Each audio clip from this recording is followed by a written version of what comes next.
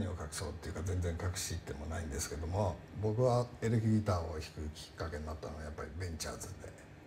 あの日本の最多来日アーティストですからね、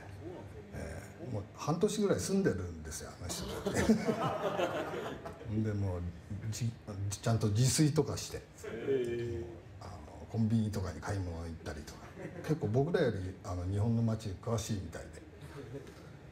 僕なんか行ったことない街にもいっぱい行ってるみたいなんですけどね初めてエレキギターを持って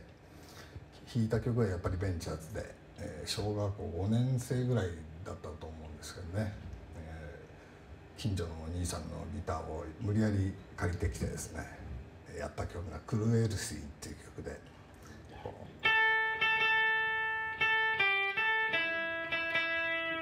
こういうこれをもう開けてもくれてももう毎日毎日弾いてましたね。これ1弦だけで弾けるんで、えー、この曲をもうほとんど何ヶ月もこればっかり弾いてたような気がしますね、えー、ほとんどまたやってるっていうふうにお姉さんにも隣にお兄さんとお姉さんがいてですね。お姉さんにいつも「そのうち飽きるわよ」って。なんかボソッと言われたことが頭にきて今でもやってるんですけどね。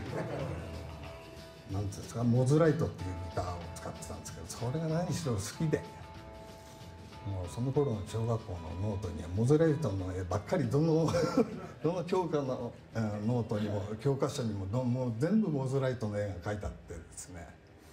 エレキギターエレキギターですよねこれね。えその頃はですねエレキってギター使うんですよ、まあ、エレキって呼ばれてたんですよね。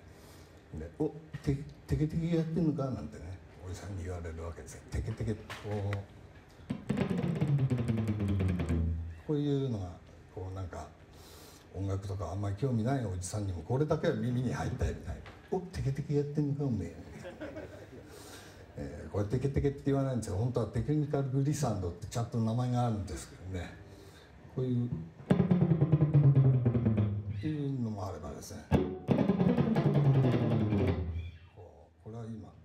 っていう曲のテクニカルリスチャンなんですけどこれが難しいんですよね。こうパイプラインってこう波がこうねま丸まっちゃう。で中がこう向こうまで見えちゃうような言うんですけどその頃ですねレコード買うとですねパイプラインっていうのは石油を運ぶ管がででたらめ書いてありましたけどね。そんなわけないですよね。サーフィンベンチャーズっていうアルバムなんですからね。一度丸々かけた波が後ろから来た波に飲まれちゃうような感じでっていうふうにやるっていうそういうテクニカルクリスサンドもあったですねこれはテケテケとはそうテケテケなんてそんな生優しいもんじゃなくてですね結構いろいろあったわけですよ。